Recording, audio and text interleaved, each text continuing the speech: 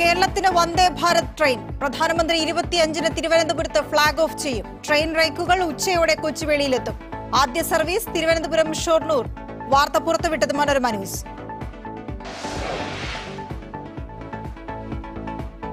അരിക്കൊമ്പൻ ദൌത്യത്തിൽ ഹൈക്കോടതി ഉത്തരവിൽ ഇളവ് തേടി സർക്കാർ സുപ്രീം കോടതിയിലേക്ക്. പരിസ്ഥിതിവാദികൾക്ക് കോടതി അമിത പ്രാധാന്യം നൽകുന്നതായി തോന്നുന്നുവെന്ന് വനം മന്ത്രി.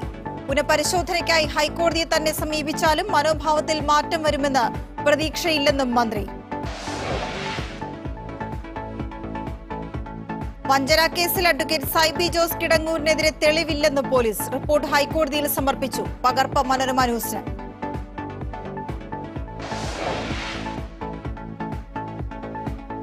ആലപ്പുഴ ചന്ദരൂരിൽ യുവാവിനെ മർദ്ദിച്ചു കൊന്നു. സിമന്റ് കട്ട കൊണ്ട് മുഖത്തിടിച്ചെന്ന് സംശയം. ഒരാൾ കസ്റ്റഡിയിൽ. രാത്രി സുഹൃത്തുക്കൾ വിളിച്ചുകൊണ്ടുപോയതെന്ന് വീട്ടുകാർ കൊല്ലപ്പെട്ട ഫെലിക്സ് വിവിധ കേസുകളിൽ പ്രതി.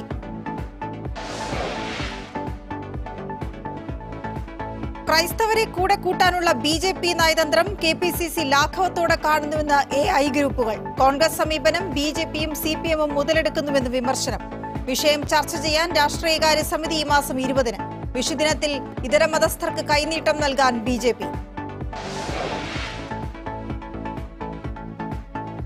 പട്ടയഭൂമിയിൽ നട്ടുവളർത്തിയ മരം മുറിക്കുന്നതിന് അനുമതി നൽകുന്നതിൽ റവന്യൂ വരം വനംവകുപ്പ് തർക്കം തുടരുന്നു. അനുമതി നൽകുന്നത് മുട്ടിൽ മരമുറി കേസിലെ പ്രതികളെ സഹായിക്കുമോ എന്ന ആശങ്കയിൽ വനംവകുപ്പ്. അനുമതി നൽകണമെന്ന് റവന്യൂ വകുപ്പ്.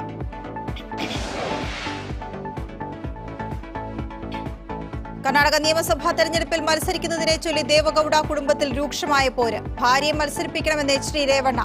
അനുവദിക്കില്ലെന്ന് കുമാരസ്വാമി. വിശാല പ്രതിപക്ഷ കൂട്ടായ്മയിൽ മമതാ ബാനർജി വേണമെന്ന് കോൺഗ്രസ് നേതൃത്വത്തോട് ശരത് പവാർ.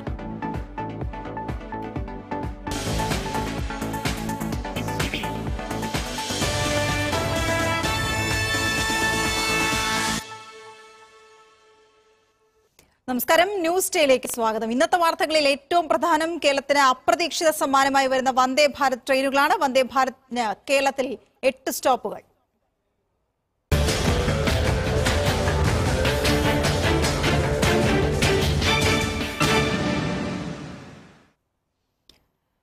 കേരളത്തിലുള്ള ആദ്യ വന്ദേ ഭാരത് എക്സ്പ്രസിന്റെ റേക്കുകൾ ഇന്ന് കൊച്ചുവേളിയിലെത്തിക്കും. ഉദ്ഘാടന സർവീസിന് മുന്നോടിയായി ദക്ഷിണ റെയിൽവേ മാനേജർ കോഴിക്കോട്ടും തിരുവനന്തപുരത്തും എത്തി ക്രമീകരണങ്ങൾ വിലയിരുത്തും. വന്ദേ ഭാരത് സർവീസ് ഈ മാസം ഇരുപത്തിയഞ്ചിന് പ്രധാനമന്ത്രി ഫ്ളാഗ് ഓഫ് ചെയ്യും.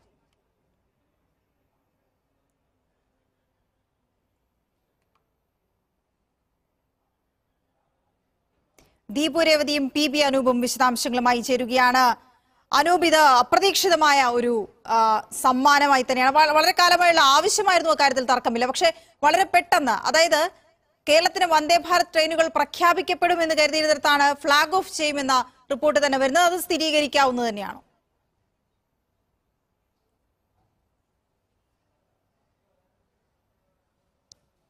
വീണ അതായത് ഇന്നലെ ഇന്നലെ വൈകിട്ട് തന്നെ മനോരമ ന്യൂസ് ആ വാർത്ത പുറത്തുവിട്ടിരുന്നു. അതായത് റെയിൽവേയുടെ ഭാഗത്തു നിന്നും നേരത്തെ വിവിധ കോണുകളിൽ നിന്നും ഇത്തരത്തിൽ വന്ദേ ഭാരത് ട്രെയിൻ ട്രെയിൻ ഇന്ത്യയ്ക്ക് കേരളത്തിന് വേണ്ടി പ്രഖ്യാപിക്കുമെന്ന ഒരു സൂചനകൾ ഉണ്ടായിരുന്നു അത്തരത്തിൽ കേരളത്തിന് പ്രധാനമന്ത്രി നരേന്ദ്രമോദിയുടെ സന്ദർശനത്തിന്റെ ഭാഗമായിട്ട് വന്ദേ ഭാരതിന്റെ പ്രഖ്യാപനം ഉണ്ടാകും എന്ന ഒരു അഭ്യൂഹങ്ങളും അത്തരത്തിലുള്ള വിലയിരുത്തലുകൾക്കും ഇടയിലാണ് പ്രധാനമന്ത്രിയുടെ കേരള സന്ദർശനം ഉറപ്പാവുകയും ഇരുപത്തിനാലാം തീയതിയും ഇരുപത്തഞ്ചാം തീയതിയും അത് കേരളത്തിൽ എത്തുമെന്ന് ഉറപ്പാവുകയും ചെയ്തത്. അപ്പോൾ അദ്ദേഹം ഒരുപക്ഷെ വന്ദേ ഭാരത് കേരളത്തിനുള്ളത് പ്രഖ്യാപിക്കുമെന്നായിരുന്നു സൂചനകൾ ഉണ്ടായിരുന്നത് റെയിൽവേയോ മറ്റേതെങ്കിലും തരത്തിൽ ഈ വന്ദേ ഭാരതുമായി ബന്ധപ്പെട്ട് കിടക്കുന്ന മറ്റ് സർക്കാർ സേവന മേഖലകളിൽ നിന്നുള്ളവരോ അല്ലെങ്കിൽ സർക്കാർ വകുപ്പുകളോ ഇത് സ്ഥിരീകരിക്കാനായിട്ട് തയ്യാറായിരുന്നില്ല. പക്ഷേ പ്രധാനമന്ത്രിയുടെ ഓഫീസിൽ നിന്നും അതീവ രഹസ്യമായി പ്രധാനമന്ത്രിയുടെ ഓഫീസ് നേരിട്ട് തന്നെ നിയന്ത്രണം വഹിച്ചുകൊണ്ട് ഒരുപക്ഷെ സംസ്ഥാന സർക്കാരും റെയിൽവേക്ക് പോലും കാര്യമായിട്ടുള്ള റോൾ പിന്നീടാണ് വരുന്നത്.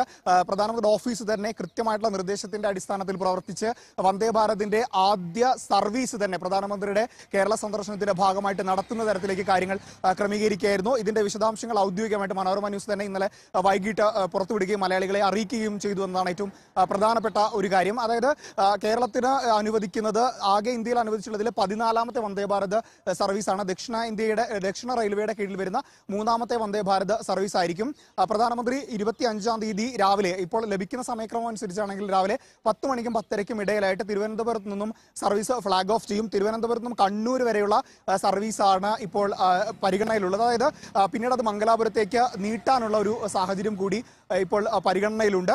പക്ഷേ മംഗലാപുരത്തേക്ക് നീട്ടുന്ന സംബന്ധിച്ച് തീരുമാനം എത്തിയിട്ടില്ല. വിവിധ കോണുകളിൽ നിന്നും അത്തരത്തിലുള്ള അഭ്യർത്ഥനകളുണ്ട്. അത് മാത്രം മാത്രമല്ല വന്ദേ ഭാരതിന്റെ ഒരു സ്വഭാവം അനുസരിച്ച് വന്ദേ ഭാരത് രണ്ട് സംസ്ഥാനങ്ങൾ ബന്ധിപ്പിക്കുന്ന തരത്തിലാണ് പലപ്പോഴും സർവീസ് നടത്തുന്നത്. അതുകൊണ്ട് തന്നെ ഒരുപക്ഷെ മംഗലാപുരത്തേക്ക് സർവീസ് നീട്ടുന്ന കാര്യം പരിഗണനയിലുണ്ട്. ഏതായാലും ആദ്യഘട്ടത്തിൽ പ്രാരംഭ സർവീസിന് മുന്നോടിയായിട്ട് പരീക്ഷണ സർവീസ് നടത്തുന്നത് തിരുവനന്തപുരത്ത് നിന്നും ഷൊർണൂർ വരെയായിരിക്കും.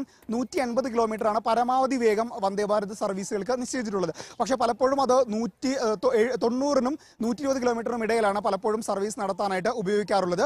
കേരളത്തിൽ എത്രത്തിൽ എത്ര സ്പീഡിലായിരിക്കും സർവീസ് നടത്തുക എന്ന് സംബന്ധിച്ച് ഇനിയും പരീക്ഷണ സർവീസ് നടത്തിയതിന് ട്രയൽ റൺ നടത്തിയതിനു ശേഷം മാത്രമേ നമുക്ക് പറയാൻ സാധിക്കുള്ളൂ കേരളത്തിന് ഏറ്റവും പ്രധാനപ്പെട്ട കാര്യം എട്ട് കോച്ചുകളുള്ള സർവീസ് എട്ട് കോച്ചുകളുള്ള ട്രെയിനിനായിരുന്നു പലപ്പോഴും അഭ്യർത്ഥന മുന്നോട്ട് വെച്ചിരുന്നെങ്കിൽ കേന്ദ്ര സർക്കാർ പതിനാറ് കോച്ചുകളുള്ള ട്രെയിനാണ് കേരളത്തിന് അനുവദിച്ചിരിക്കുന്നത്.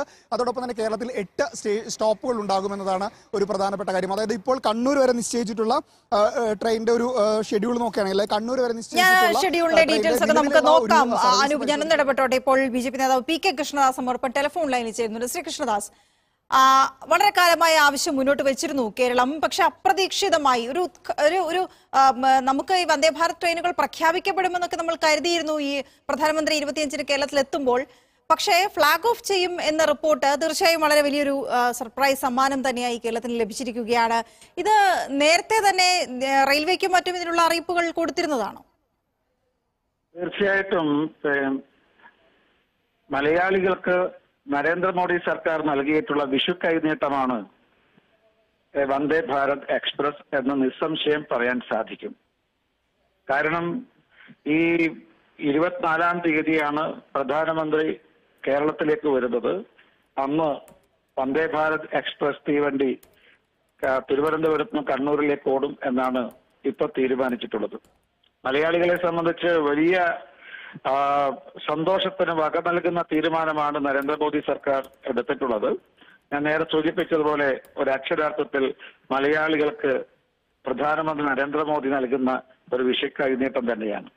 പക്ഷെ നേരത്തെ തന്നെ ഞാൻ ഉൾപ്പെടെ ഞാൻ റെയിൽവേയുമായി ബന്ധപ്പെട്ട പാസഞ്ചർ അമ്യൂണിറ്റീസ് കമ്മിറ്റിയുടെ ചെയർമാൻ എന്നുള്ള നിലയിൽ നേരത്തെ നമ്മൾ പറഞ്ഞിരുന്നു കേരളത്തിൽ അതിവൈകാതെ നമ്മൾ ഈ വന്ദേ ഭാരത് എക്സ്പ്രസ് ഓടിത്തുടങ്ങും എന്ന് നേരത്തെ പറഞ്ഞിരുന്നു. അതായത് കോച്ചിന്റെ നിർമ്മാണം തീരുന്ന മുറക്ക് പ്രഥമ പരിഗണന പ്രധാനപ്പെട്ട പരിഗണന കേരളത്തിൽ ലഭിക്കുമെന്ന് നേരത്തെ പറഞ്ഞിരുന്നു. അപ്രതീക്ഷിതമെന്ന് പറയാൻ സാധ്യമല്ല പക്ഷെ ഈ ഒരു തീയതി ഈ വിഷു വിഷുവിന്റെ വിഷു ആഘോ മലയാളികൾ വിഷു ആഘോഷിക്കുന്ന ഈ ദിവസം ദിവസം തന്നെ ഇതിന്റെ ട്രയൽ റണ്ണിങ് ഓ- ഓട്ടം ഉണ്ടാകും എന്നാരും പ്രതീക്ഷിച്ചിരുന്നില്ല. മാത്രമല്ല ഈ മാസം ഇരുപത്തിനാലാം തീയതി ഇതിന്റെ ഫ്ലാഗ് ഓഫ് നടക്കുമെന്നും ആരും പ്രതീക്ഷിച്ചിരുന്നില്ല. ഏതായാലും ഈ നമ്മുടെ വിഷു ആഘോഷിക്കുന്ന സമയത്താണ് നമുക്ക് വന്ദേ ഭാരത് എക്സ്പ്രസ് കിട്ടിയത്. കേരളത്തെ സംബന്ധിച്ച് വലിയ യാത്രക്കാരെ സംബന്ധിച്ച് ജനങ്ങളെ സംബന്ധിച്ച് വലിയ പ്രയോജനകരമാണ് ഇതുകൊണ്ട് ഉണ്ടാക്കാൻ വേണ്ടി പോകുന്നത്. ഇപ്പം നേരത്തെ സൂചിപ്പിച്ചതുപോലെ എട്ട് പിന്നെ സ്റ്റോപ്പുകളെ കുറിച്ചാണ് ഇപ്പൊ പറഞ്ഞിട്ടുള്ളത്. ഏതായാലും എനിക്ക് തോന്നുന്നു ഇപ്പൊ നമുക്ക് ഒരു വന്ദേ ഭാരതിന്റെ യഥാർത്ഥ വേഗതയിലേക്ക് ഈ ആരംഭത്തിൽ തന്നെ ഓടാൻ കഴിയുമോ എന്നതിന് ചില സംശയം ഉണ്ടെങ്കിലും ഒരു നൂറ്റി എന്ന് മാത്രമല്ല ശ്രീ പി കൃഷ്ണദാസ്. പക്ഷെ താങ്കൾക്ക് യാത്രക്കാരുടെ ഭാഗത്തു നിന്ന് കൂടുതൽ കാര്യങ്ങൾ പറയാൻ കഴിഞ്ഞാൽ അതിലേക്ക് വരാം. അതിനുമ്പ് നമുക്കൊരു ഷോർട്ട് നോട്ടീസിൽ ലഭിക്കുന്നതാണ് ഈ അതിവേഗ ട്രെയിനുകൾ. നമുക്ക് ഇവിടുത്തെ ഒരു സാഹചര്യം എങ്ങനെയാണ്? അപ്പൊ അതിനുവേണ്ട ക്രമീകരണങ്ങൾ നമുക്ക് വളരെ പെട്ടെന്ന് പൂർത്തിയാക്കാൻ കഴിയുമോ? സാധാരണ ഇതിന്റെ ക്രമീകരണം ഞാൻ നേരത്തെ സൂചിപ്പിച്ചതുപോലെ നൂറ്റി അറുപത് കിലോമീറ്റർ വേഗതയാണ് വന്ദേ ഭാരത് എക്സ്പ്രസിനുള്ളത് പക്ഷെ നമുക്ക് കേരളത്തിൽ ഇതിന്റെ റെയിൽവേ ട്രാക്കിന്റെ വളവ് തിരിവ് എന്നിവ ഉണ്ട് എന്നുള്ളത് യാഥാർത്ഥ്യമാണ്. പക്ഷെ ഇത് പരിഹരിക്കാനുള്ള ലിഡാർ സർവേ നമ്മുടെ ഈ ഏപ്രിൽ മാസമാണ് നടക്കുന്നത്.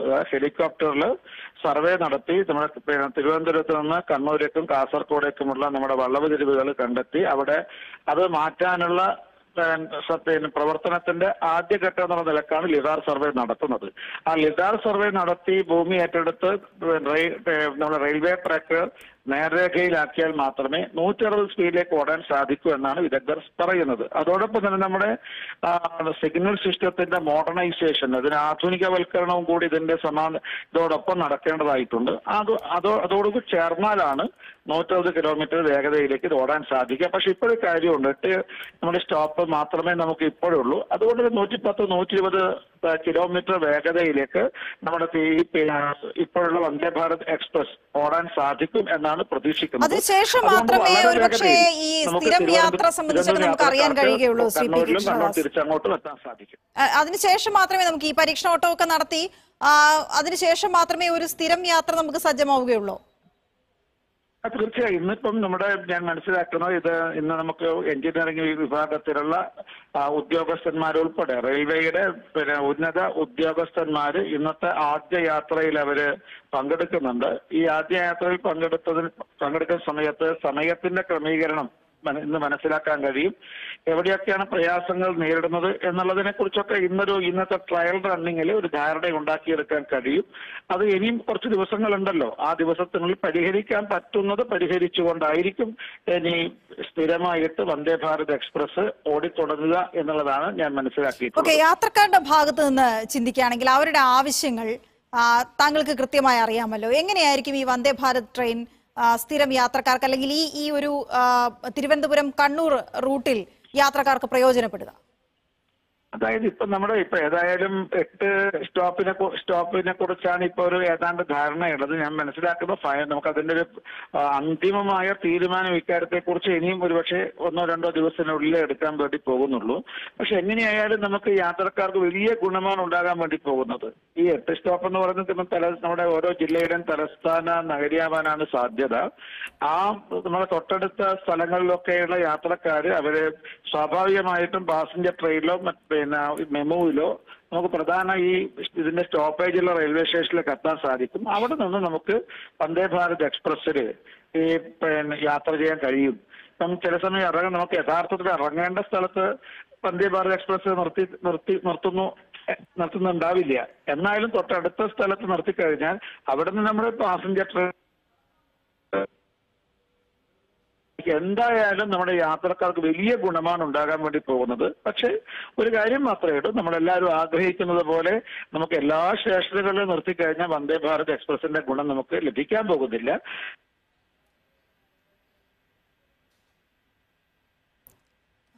അദ്ദേഹത്തിന്റെ ടെലിഫോൺ ബന്ധത്തിൽ ശ്രീകൃഷ്ണദാസ് താങ്കൾക്ക് കേൾക്കാൻ കഴിയുന്നില്ല. ഒറ്റ കാര്യം കൂടി. ഇതേതായാലും കേരളത്തിന്റെ വികസനത്തിൽ വലിയ നിർണായകമായ ഒരു പങ്ക് വഹിക്കും എന്ന് തന്നെയാണ് നിങ്ങൾ അവകാശപ്പെടുന്നത്. ഒപ്പം തന്നെ രാഷ്ട്രീയമായ ഒരു വലിയ നീക്കം കൂടിയാണ് ബി ജെ പി നടത്തുന്നത് കേന്ദ്ര സർക്കാരിന്റെ ഭാഗത്തുനിന്ന് ഉണ്ടായിരിക്കുന്നതെന്ന് പറയാതിരിക്കാൻ കഴിയില്ല. ഇത് വലിയ മൈലേജ് തരില്ലേ ബി ജെ പിക്ക്? അല്ല ബി ജെ പിക്ക് ഇത് പിന്നെ രാഷ്ട്രീയമായ പ്രയോജനം കിട്ടുമോ? അല്ലെങ്കിൽ രണ്ടായിരത്തി ഇരുപത്തിനാല് തെരഞ്ഞെടുപ്പിനെ ഇത് പ്രതിഫലിക്കുമോ? എന്നുള്ള വേറെ കാര്യം. ഇത് ഞങ്ങൾ അതേ സംബന്ധിച്ച് രാഷ്ട്രീയത്തിന് പ്രിയപ്പെട്ട നരേന്ദ്രമോദി വികസനത്തിന്റെതാണ് വികസനം എന്നുള്ളതാണ് നമ്മുടെ പ്രഥമമായിട്ടുള്ള മുദ്രാവാക്യം. ആ വികസനത്തിന്റെ ഭാഗമായിട്ടാണ് ഈ റെയിൽവേയിൽ ഇത്രയും വലിയ നിക്ഷേപം കേന്ദ്ര ഗവൺമെന്റ് കേരളത്തിൽ നടത്തുന്നത്. ഇത് മാത്രമല്ല നമ്മൾ ഓർക്കേണ്ടത് ഈ അതിവേഗ തീവണ്ടി ഓടിച്ചു എന്ന് മാത്രമല്ല നമ്മുടെ കേരളത്തിലെ യെസ് അദ്ദേഹത്തിന്റെ ടെലിഫോൺ ബന്ധത്തിൽ ചില തകരാറുകളുണ്ട്. അദ്ദേഹം അത് പറഞ്ഞു വരികയുമായിരുന്നു. എങ്കിലും ആദ്യ ഈ ട്രെയിനിന്റെ യാത്ര സംബന്ധിച്ച് അദ്ദേഹം ചില കാര്യങ്ങൾ സൂചിപ്പിച്ചത് വളരെ വ്യക്തവുമായിരുന്നു. ഇപ്പോൾ Shri K Muraleedharan M P telephone ലൈനിൽ ചേരുന്നുണ്ട്. ശ്രീ കെ മുരളീധരൻ വന്ദേ ഭാരത് ട്രെയിൻ പ്രഖ്യാപിക്കപ്പെടും. പ്രധാനമന്ത്രി കേരളത്തിൽ എത്തുമ്പോൾ എന്ന പ്രതീക്ഷയോടെ കാത്തിരുന്നവർക്ക് ഫ്ളാഗ് ഓഫ് ചെയ്യുന്നു എന്ന റിപ്പോർട്ടാണ്. എന്താണ് ഈ വളരെ പെട്ടെന്ന് വന്ദേ ഭാരത് എക്സ്പ്രസ് ട്രെയിൻ കേരളത്തിലേക്ക് എത്തുമ്പോൾ താങ്കൾക്ക് പറയാനുള്ളത്? ഏതായാലും കഴിഞ്ഞ പാർലമെന്റ് സമാപിക്കുന്നതിന്റെ മൂന്ന് ദിവസം മുമ്പ് വന്ദേ ഭാരത് ട്രെയിൻ കേരളത്തിന് നൽകണമെന്ന് ആവശ്യപ്പെട്ടുകൊണ്ട് റൂൾ ത്രീ സെവന്റി സെവൻ അനുസരിച്ച് ഞാൻ സഭയുടെ മേശപ്പുറത്ത് വെച്ചിരുന്നു. അതിലാവശ്യപ്പെട്ടത് കണ്ണൂർ തിരുവനന്തപുരം വന്ദേ ഭാരത് എക്സ്പ്രസ് ഓടിക്കണം. അതിന് കഴിഞ്ഞില്ലെങ്കിൽ അറ്റ്ലീസ്റ്റ് തിരുവനന്തപുരത്ത് നിന്നെങ്കിലും എറണാകുളത്തേക്ക് ആദ്യഘട്ടത്തിൽ ആരംഭിക്കണം എന്നൊക്കെയാണ് സൂചിപ്പിച്ചത്. പക്ഷെ ഇപ്പൊ കേൾക്കുന്ന റിപ്പോർട്ട് അനുസരിച്ച് ഞാൻ അന്ന് പറഞ്ഞ പ്രകാരം തന്നെ കണ്ണൂർ തിരുവനന്തപുരം ഭാഗത്തേക്ക് വന്ദേ ഭാരത് ട്രെയിൻ എത്തുന്നു എന്നറിയുന്നതിൽ സന്തോഷമുണ്ട്. ഇരുപത്തി അഞ്ചാം തീയതി ഫ്ലാഗ് ഓഫ് ചെയ്യുകയാണെങ്കിൽ കേരളത്തിന്റെ റെയിൽവേ ചരിത്രത്തിൽ ഒരു നാഴികക്കല്ലായിട്ട് അത് മാറും. നമുക്ക് വളരെ പെട്ടെന്ന് ട്രെയിൻ ഇങ്ങോട്ട് വരുമ്പോൾ അതുമായി ബന്ധപ്പെട്ട് കേരളത്തിൽ അതിന്റെ ക്രമീകരണങ്ങൾ ഇനിയിപ്പോൾ നമുക്ക് സാധ്യമാണ് എന്നുള്ളതാണ്. കാരണം ഫ്ലാഗ് ഓഫ് നടന്നാൽ പരീക്ഷണ ഓട്ടം നടത്തി വളരെ പെട്ടെന്ന് തന്നെ യാത്ര സജ്ജമാകേണ്ടതുണ്ട്. എന്നാണ് കേരളത്തിലെ ക്രമീകരണങ്ങളെ കുറിച്ചുള്ള ഒരു വിലയിരുത്തൽ. കേരളത്തിലെ ക്രമീകരണങ്ങൾ ഏത് രീതിയിൽ നടക്കുന്നു എന്നുള്ളത് ഇപ്പൊ നമുക്ക് പറയാൻ കഴിയില്ല. കാരണം റെയിൽവേയുടെ വർക്ക് ഇപ്പൊ പലയിടത്തും നടക്കുന്നത് കൊണ്ട് ചില ട്രെയിനുകളുടെ സഞ്ചാരത്തിലൊക്കെ ഇപ്പോ മാറ്റങ്ങൾ ഉണ്ടായിട്ടുണ്ട്. ഇപ്പൊ തിരുവനന്തപുരം സെൻട്രൽ സ്റ്റേഷനിൽ വർക്ക് നടക്കുന്നത് കൊണ്ട് തിരുവനന്തപുരത്തേക്ക് വരുന്ന എല്ലാ യാത്രക്കാരും ഇപ്പൊ കൊച്ചുവേളിയിലാണ് അവർ ഇറക്കുന്നത്. അതുപോലെ തന്നെ ജനശതാബ്ദി തിരുവനന്തപുരം കണ്ണൂർ ജനശതാബ്ദി ഇപ്പൊ ഇന്നൊക്കെ ഷൊർണൂർ വരെ എന്റെ യാത്രയുള്ളൂ അപ്പൊ ഞാൻ മനസ്സിലാക്കുന്ന ഒരു പക്ഷേ ഇതിന്റെ ഭാഗമായിട്ടായിരിക്കാം ഇതുപോലുള്ള ക്രമീകരണങ്ങൾ വരുത്തുന്നത് എന്നാണ് ഞാൻ മനസ്സിലാക്കുന്നത്. ഇത് നമ്മുടെ വളരെ കാലമായുള്ള ആവശ്യമാണ്. ഇപ്പോൾ പ്രധാനമന്ത്രിയുടെ വരവിനോടനുബന്ധിച്ച് വളരെ പെട്ടെന്ന് ഇങ്ങനൊരു പ്രഖ്യാപനം ഉണ്ടാകുമ്പോൾ ഇത് രാഷ്ട്രീയമായി കൂടി കാണേണ്ടതുണ്ടോ ശ്രീ കെ മുരളീധരൻ? അത് രാഷ്ട്രീയമായിട്ടും കൂടെ കാണേണ്ടി വരും. കാരണം പെട്ടെന്ന് ഒരു സുപ്രഭാതത്തിൽ വന്ദേ ഭാരത് ട്രെയിൻ. ഏതായാലും ട്രെയിൻ വരുന്നത് നല്ല കാര്യം തന്നെയാണ്. അതിന്റെ മറ്റു വശങ്ങൾ പിന്നീട് പ്രതിപാദിക്കാം. ഏതായാലും ആദ്യം ട്രെയിൻ വരട്ടെ. അതിനുശേഷം ബാക്കി കാര്യങ്ങളെ കുറിച്ച് ആലോചിക്കാം. ഓക്കെ. വളരെ നന്ദി ശ്രീ കെ മുരളീധരൻ. പ്രതികരിച്ചതിന്. ഏതായാലും ട്രെയിൻ എത്തുന്നത് അത് കണ്ണൂർ റൂട്ടിൽ തന്നെ എത്തുന്നത് വളരെ ഗുണകരമാകുന്നു എന്ന കാര്യമാണ് ശ്രീ കെ മുരളീധരനും സൂചിപ്പിക്കുന്നത്. ദീപു രേവതി തിരുവനന്തപുരത്ത് നിന്ന് ചേരുന്നുണ്ട്. ദീപു നമുക്ക് ഞാൻ ഈ ആവർത്തിച്ച് പറഞ്ഞുകൊണ്ടിരിക്കുന്ന ക്രമീകരണങ്ങൾ സംബന്ധിച്ചാണ് കാരണം വളരെ പെട്ടെന്ന് ട്രെയിൻ വരുന്നു എന്നുള്ളത് കൊണ്ട് തന്നെ ഈ തിരുവനന്തപുരം റെയിൽവേ സ്റ്റേഷനിലാവട്ടെ അതിന്റെ ക്രമീകരണങ്ങൾ തുടങ്ങിക്കഴിഞ്ഞിരിക്കുന്നു എന്നുള്ളതാണ്. അവിടെ മാത്രം തുടങ്ങിയാൽ പോലെ അവിടെ നടക്കുന്ന ഉദ്ഘാടന ചടങ്ങ് മാത്രമാണ്. പക്ഷെ കണ്ണൂർ വരെ ട്രെയിൻ ഓടുന്നുണ്ട്. ഈ വേഗം സംബന്ധിച്ച് നമുക്ക് ആശങ്കകളുണ്ട്. പലയിടങ്ങളിലും ഇതിന് കൃത്യമായി ഈ വന്ദേ ഭാരതിന്റെ ഒരു അതിവേഗ അതിവേഗം എന്നത് എത്ര കണ്ട് നിലനിർത്തിക്കൊണ്ട് പോകാൻ സാധിക്കും എന്നൊക്കെ ഉള്ളത് എങ്കിലും ക്രമീകരണങ്ങൾ ഏതൊക്കെ ഘട്ടത്തിലാണ്?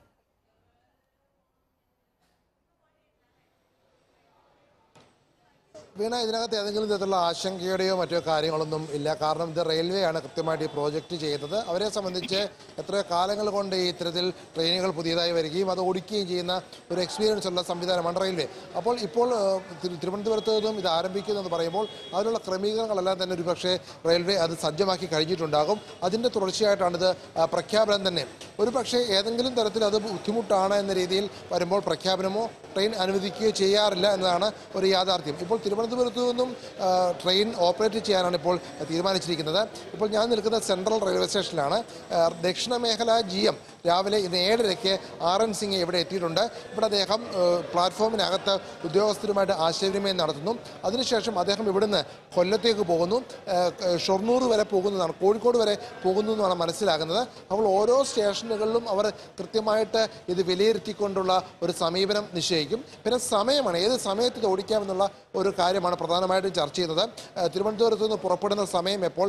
അതിരാവിലെ അഞ്ചു മണിക്ക് മുൻപ് പുറപ്പെടണോ? അതിനുശേഷം ഒൻപതരയോടുകൂടി പുറപ്പെടണോ? തുടങ്ങിയ വിവിധ കാര്യങ്ങൾ എല്ലാം തന്നെ ചർച്ച ചെയ്യും. രണ്ട് വീണ സൂചിപ്പിച്ച വേഗതയുമായി ബന്ധപ്പെട്ട കാര്യം നേരത്തെ നമ്മളോട് സംസാരിച്ച അതിഥികൾ സൂചിപ്പിച്ചതുപോലെ ഈ ട്രെയിനിന്റെ വളവുകൾ ഉള്ള കേരളത്തിലെ പാതയുടെ വളവുകൾ ഒരു പ്രശ്നമാണ്. അപ്പോൾ അതുമായി ബന്ധപ്പെട്ട് ആ മേഖലകളിൽ വേഗത കുറച്ച് ഓടിക്കുന്നതിന് മറ്റ് ട്രാക്കിന്റെ ഒരു സ്ട്രെങ്ത് അനുസരിച്ച് ഓടിക്കുന്നതിനുമായിരിക്കും തീരുമാനിക്കുക. അത് തീർച്ചയായിട്ടും ഈ പരീക്ഷ തരത്തിലുള്ള ഓട്ടം കഴിഞ്ഞതിന് ശേഷം മാത്രമേ അതിനകത്ത് റെയിൽവേ ഒരു അന്തിമ തീരുമാനം അറിയിക്കുകയുള്ളൂ എന്നാണ് മനസ്സിലാക്കുന്നത് ഒരു കാര്യം ഇതിനകത്ത് എടുത്തു പറയണം. വീണ നേരത്തെ രാഷ്ട്രീയമായിട്ട് ബി ജെ പി ഗുണം ചെയ്യുമെന്നുള്ള ചോദ്യം വീണ ചോദിച്ചപ്പോൾ അത് അതിനപ്പുറത്തേക്ക് വികസനമാണെന്നുള്ള ഒരു കാര്യമാണ് ബി ജെ പിയുടെ പ്രതിനിധി പങ്കുവച്ചത്.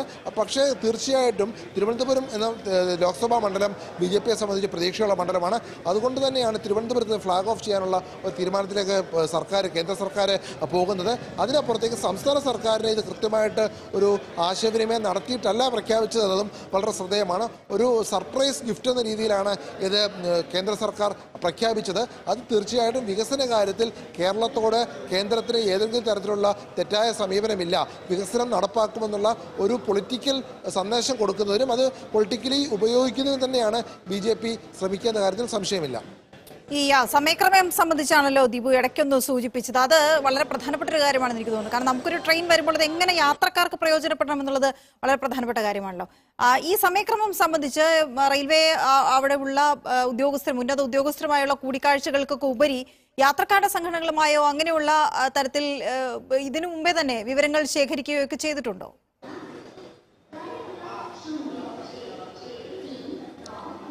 പിന്നെ അത്തരത്തിലൊരു തിരു- അത്തരത്തിലൊരു യാത്രക്കാരെ സംബന്ധിച്ച് അവരോട് ചോദിക്കുക. അങ്ങനെ ഒരു സമീപനത്തിലേക്ക് ഇതുവരെ പോയിട്ടാണ് മനസ്സിലാക്കുന്നത് അപ്പോൾ സമയക്രമം നിശ്ചയിക്കണമെങ്കിൽ തന്നെ മൊത്തം സർവീസുകളെ സംബന്ധിച്ച ഒരു സമയക്രമമുണ്ട്. നിലവിൽ ഓടുന്ന സമയക്രമമുണ്ട്. അതെല്ലാം പരിശോധിക്കുകയും ആളുകൾക്ക് ഏത് രീതിയിലാണ് ഇത് പ്രയോജനം ചെയ്യുക. അതുമായി ബന്ധപ്പെട്ട ഒരു സർവേ നടത്തുകയും പ്രത്യേകിച്ചും ഈ നിർത്തപ്പെടുന്ന സ്റ്റോപ്പുകൾ അവിടേക്കുള്ള പാസഞ്ചേഴ്സിന്റെ ഒരു മൂവ്മെന്റ് നോക്കുകയും ഒക്കെ ചെയ്യും. അതിനുശേഷമായിരിക്കും ഈ സമയം സംബന്ധിച്ച തീരുമാനം വരിക എന്നാണ് നമുക്ക് മനസ്സിലാക്കേണ്ടത് ഒരു പക്ഷേ അത് ദക്ഷിണ റെയിൽവേ ആസ്ഥാനത്ത് നിന്നോ അല്ലെങ്കിൽ ഡൽഹിയിൽ നിന്ന് തന്നെ ഇത് നിശ്ചയ സമയം നിശ്ചയിച്ച് അറിയിക്കുന്നുണ്ടാകും. ഇത് ഇരുപത്തഞ്ചിന് ഫ്ലാഗ് ഓഫ് ചെയ്തതിന് മുൻപ് അതിനകത്തൊരു തീരുമാനമാകും. ഇന്നോ നാളെയോ ഈ ദക്ഷിണ മേഖലയുടെ ജി എം ഇവിടെ നിന്നും സന്ദർശനം നടത്തി മടങ്ങിയതിനു ശേഷം ഒരു പക്ഷേ തീരുമാനം പ്രതീക്ഷിക്കുന്നുണ്ട്. വീണ. ഈ പതിനാറ് കോച്ചുകളാണല്ലോ ട്രെയിൻ ഉണ്ടാവുക. ദീപു ഈ റേക്കുകൾ വന്നു തുടങ്ങി കൊച്ചുവേളിയിലേക്ക് ഉച്ചയോടുകൂടി എത്തും എന്നുള്ളതാണ്. അപ്പൊ കൊച്ചുവേളിയിൽ എങ്ങനെയാണ് അതിനുള്ള ക്രമീകരണങ്ങളൊക്കെ ഈ റേക്കുകൾ നിർത്തിയിടുന്നതിനും സൂക്ഷിക്കുന്നതിനും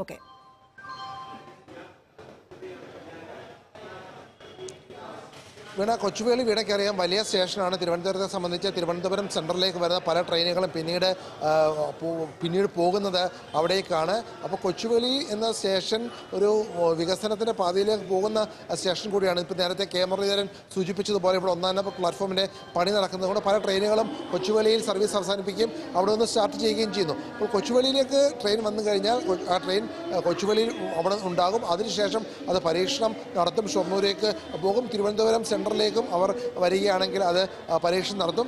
മറ്റൊരു കാര്യം ഈ ട്രെയിൻ ആരംഭിക്കുന്നത് തിരുവനന്തപുരം സെൻട്രലിൽ തന്നെയാണെന്നുള്ള വിവരമാണ് ഇതുവരെയും ലഭിക്കുന്നത്. അതിന് ഏതെങ്കിലും തരത്തിലുള്ള മാറ്റം പിന്നീട് ഉണ്ടാകുമോ? കൊച്ചുവേളിയിലേക്ക് മാറുമെന്ന കാര്യത്തിൽ നമുക്ക് ഇപ്പോൾ വ്യക്തതയില്ല. എന്തായാലും ഒരു കാര്യം കൂടി ദീപു ഈ പ്രധാനമന്ത്രിയാണല്ലോ ഉദ്ഘാടനത്തിന് വരുന്നത്. അപ്പോൾ വിപുലമായ ചില സുരക്ഷാ സംവിധാനങ്ങൾ കൂടി തിരുവനന്തപുരം റെയിൽവേ സ്റ്റേഷനിൽ ഒരുക്കേണ്ടതുണ്ട്. അപ്പോൾ അതിന് ഇരുപത്തഞ്ച് എന്ന് പറയുമ്പോൾ ഇതിന്റെ ഒൻപത് ദിവസമാണ് ഇനി ബാക്കിയുള്ളത്. അപ്പോൾ എങ്ങനെയാണ് ആ ക്രമീകരണങ്ങൾ കൂടി?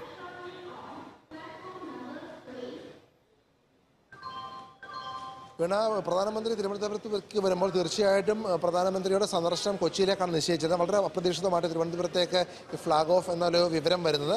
അപ്പോൾ അതിനനുസരിച്ചുള്ള ക്രമീകരണങ്ങൾ സംസ്ഥാന പോലീസിന്റെയും ഒപ്പം തന്നെ റെയിൽവേ സ്റ്റേഷനിലായിരിക്കും ഈ ഫ്ലാഗ് ഓഫ് തുറക്കുക. റെയിൽവേ പോലീസിന്റെയും മറ്റ് ഇന്റലിജൻസ് വിഭാഗങ്ങളുടെയും എല്ലാ മേൽനോട്ടത്തിൽ അതിനുള്ള സുരക്ഷാ ക്രമീകരണങ്ങൾ ഉറപ്പാക്കും. പ്രത്യേകിച്ച് സംസ്ഥാന സർക്കാരുമായിട്ട് ഇതിനോടകം തന്നെ പ്രധാനമന്ത്രിയുടെ സന്ദർശനവുമായി ബന്ധപ്പെട്ട് ആശയവിനിമയം നടന്നിട്ടുണ്ടാകാം. ആഭ്യന്തര മന്ത്രാലയത്തിന്റെയൊക്കെ തലത്തിൽ സന്ദർശനവുമായി ബന്ധപ്പെട്ട് ആശയവിനിമയം നടന്നിട്ടുണ്ടാകാം. അതെല്ലാം തന്നെ കൃത്യമായിട്ട് ഫോളോ അപ്പ് ചെയ്ത് സംസ്ഥാന സർക്കാർ മുന്നോട്ട് പോകും. ഈ ട്രെയിൻ പ്രഖ്യാപനം ട്രെയിൻ ഫ്ലാഗ് ഓഫ് സംസ്ഥാന സർക്കാർ അറിയിച്ചിരുന്നില്ല. അല്ലെങ്കിൽ ഒരു പ്രോപ്പർ കമ്മ്യൂണിക്കേഷൻ നടന്നിരുന്നില്ലെന്നാണ് നമുക്ക് മനസ്സിലാകുന്നത്. പക്ഷേ എന്നാൽ പ്രധാനമന്ത്രി സന്ദർശനത്തിനെത്തുമ്പോൾ തീർച്ചയായിട്ടും അതിന്റെ പ്രോട്ടോകോൾ അനുസരിച്ചുള്ള സംസ്ഥാന സർക്കാരിനെ അറിയിക്കുകയും അപ്പോൾ തിരുവനന്തപുരത്തേക്ക് വരുമ്പോൾ അത് തീർച്ചയായിട്ടും മുഖ്യമന്ത്രി ഉൾപ്പെടെ സ്വീകരിക്കുകയും ചെയ്യുന്ന സാഹചര്യമായിരിക്കും ഉണ്ടാവാൻ സാധ്യത. യെസ് ദീപു രേവതിയും വിവരങ്ങൾ നൽകുകയായിരുന്നു. കേരളം കാത്തിരുന്ന വന്ദേ ഭാരത് എക്സ്പ്രസ് യാഥാർത്ഥ്യമാവുകയാണ്. ഉദ്ഘാടനം ഫ്ളാഗ് ഓഫ് ചെയ്യാനുള്ള സർപ്രൈസ് നീക്കം മലയാളികൾ അറിഞ്ഞത് മനോരമ ന്യൂസിലൂടെയാണ്. ഈ മാസം ഇരുപത്തിനാല് ഇരുപത്തിയഞ്ച് തീയതികളിൽ പ്രധാനമന്ത്രി നരേന്ദ്രമോദി കേരളം സന്ദർശിക്കുമ്പോഴായിരിക്കും ഈ ഫ്ളാഗ് ഓഫ് ഉണ്ടാവുക. ഇപ്പോൾ ശ്രീ പ്രേമചന്ദ്രൻ കൂടി പ്രേമചന്ദ്രൻ കൂടി നമ്മളൊപ്പം ടെലിഫോൺ ലൈനിൽ ചേരുകയാണ്. എം പി ശ്രീ പ്രേമചന്ദ്രൻ ഈ വന്ദേ ഭാരത് ട്രെയിൻ നമുക്കുള്ള സർപ്രൈസ് സമ്മാനം. അല്പം മുമ്പ് പി കെ കൃഷ്ണദാസ് വ്യക്തമാക്കിയത് ഇത് മലയാളികൾക്കുള്ള വിഷുക്കൈ നീട്ടം എന്നാണ്. അപ്പൊ രാഷ്ട്രീയമൊക്കെ എന്തായാലും വികസന പാതയിൽ വലിയൊരു ഗതിവേഗമാണ് കേരളത്തിന് ലഭിക്കാൻ പോകുന്നത്. ഇന്ത്യയിലെ എല്ലാ സംസ്ഥാനങ്ങളിലും കേന്ദ്ര ഗവൺമെന്റിന്റെ പുതിയ നയത്തിന്റെ ഭാഗമായി റെയിൽവേ അതിവേഗ തീവണ്ടി സർവീസ് ആരംഭിക്കുന്നു. അതിന്റെ ഭാഗമായി കേരളത്തിന് ലഭിക്കുന്നു. തീർച്ചയായും സന്തോഷമുള്ള കാര്യമാണ്. അതിനെ ഈ രൂപത്തിൽ രാഷ്ട്രീയ പരിപ്രേക്ഷ്യം നൽകി വിശദീകരിക്കേണ്ട ഒരു ആവശ്യവുമുണ്ടെന്ന് എനിക്ക് തോന്നുന്നില്ല. കാരണം ആദ്യഘട്ടം അനുവദിച്ച കൂട്ടത്തിൽ കേരളം പോലെ ഏറ്റവും കൂടുതൽ റെയിൽവേ ആശ്രയിക്കുക എന്ന് മാത്രമല്ല റെയിൽവേക്ക് കമ്പാരിറ്റീവ്ലി ഏറ്റവും മെച്ചപ്പെട്ട റവന്യൂ വരുമാനം നൽകിക്കൊണ്ടിരിക്കുന്ന കേരളത്തിന് പ്രഖ്യാപിക്കപ്പെട്ട വന്ദേ ഭാരത് ട്രെയിനുകളുടെ കൂട്ടത്തിൽ കേരളത്തിന് ഒരു പരിഗണനയും ലഭിച്ചില്ല. ഇപ്പോൾ നൽകുന്നു എന്നറിയുന്നു അറിയുന്നത് സന്തോഷം. ഇതൊന്നും പ്രധാനമന്ത്രിയുടെയോ അല്ലെങ്കിൽ ഏതെങ്കിലും ഒരു വ്യക്തിയുടെയോ ഒരു ഗവൺമെന്റിന്റെ രാജ്യത്തിന്റെ ഒരു പൊതുവികസനത്തിന്റെ ഭാഗമായി പ്രഖ്യാപിക്കപ്പെടുന്ന പദ്ധതികളുടെ ആനുകൂല്യം നമ്മുടെ സംസ്ഥാനത്തിന് ലഭിക്കുന്നതിനെ ഈ തരത്തിലൊരു ഹൈപ്പ് ഉണ്ടാക്കി അതൊക്കെ വ്യക്തിഗതവും രാഷ്ട്രീയവുമായ നേട്ടമാക്കി എസ്റ്റാബ്ലിഷ് ചെയ്ത് അവതരിപ്പിക്കേണ്ട ഒരു ആവശ്യവുമില്ല. മാത്രമല്ല ഇതുമായി ബന്ധപ്പെട്ട എന്തെങ്കിലും വിശദാംശങ്ങൾ രാജ്യത്തിനറിയാമോ? ജനങ്ങൾക്കറിയാമോ? ജനപ്രതിനിധികൾക്കറിയാമോ? ഞാൻ ഇന്നലെയും റെയിൽ ഭവനിൽ പോയതാണ്.